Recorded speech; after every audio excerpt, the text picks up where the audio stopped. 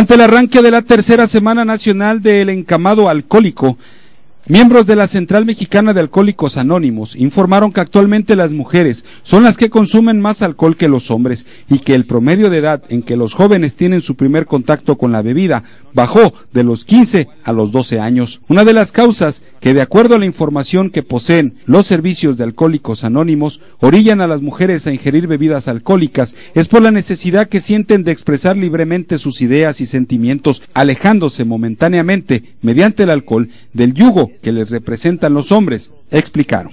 13 años. Trata. Bueno, esta campaña más que nada, este, un saludo a todos este, los amables televidentes. Soy un miembro más de la Central Mexicana de los Servicios Generales de Alcohólicos Anónimos, Asociación Civil, integrante de los Servicios Mundiales de Alcohólicos Anónimos.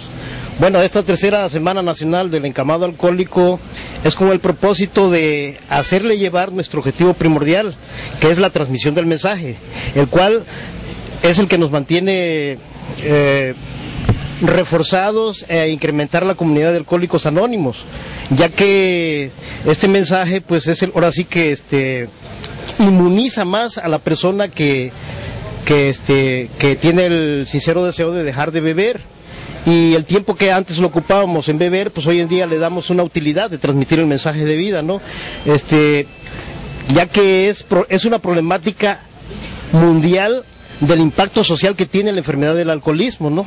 Dentro de la escala de las adicciones, el alcohol tiene el número uno como impacto social y por eso estamos interesados de que toda la comunidad este, eh, de aquí de nuestro municipio pues este sobre todo los enfermos, ¿verdad? Los enfermos que, de acuerdo a los acuerdos colaboracionales que tenemos con la, el sector salud, pues se le, se le den vida realmente, ¿no? Porque esto viene desde a nivel nacional, eh, estatal, municipal y local, ¿verdad? Entonces queremos que nuestros grandes aliados, que es la medicina desde su inicio de 1935, pues este se comprometan más, ¿no? Para reforzar más este lo que es la enfermedad del alcoholismo. Actualmente, ¿cómo están las estadísticas en cuanto a esta enfermedad?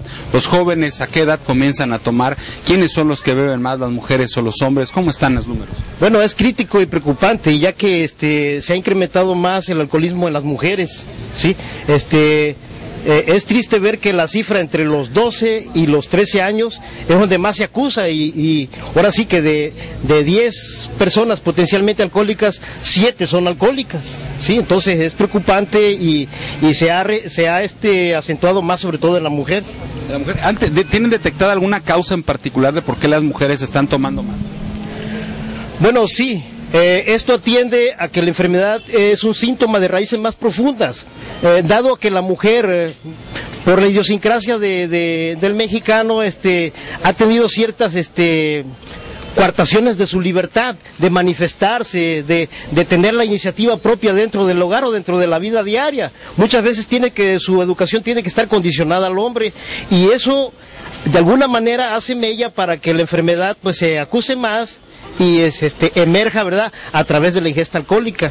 O sea que están encontrando a través de la bebida una manera de abrirse en cuanto a toda esa represión. Efectivamente, es una forma de escapar, sí, de escapar a esa, a ese, a esa cuarteamiento de la libertad que tiene por la porque el hombre siempre ha querido tener la supremacía no entonces eh, de esa manera se escapa es una, una forma de fugarse cuánto tiempo va a durar esta semana que tiene?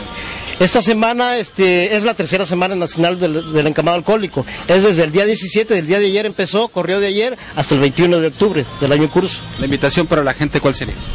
Bueno, la invitación para la gente es de que dentro de de nuestro directorio que tenemos aquí, de los cinco grupos existentes en nuestra localidad, es de que, este, por favor, acuda a las reuniones, inclusive tenemos reuniones para gentes no alcohólicas, para familiares de alcohólicos, juntas abiertas, juntas cerradas, este e invitarles sobre todo a los jóvenes en edades, en edades escolares, desde los, eh, que será sexto año, secundaria, prepa, para que vayan a juntas de prevención porque entendamos que la enfermedad del alcoholismo también es de prevención primeramente, ¿sí? Para evitar llegar a un desarrollo de la enfermedad problemática.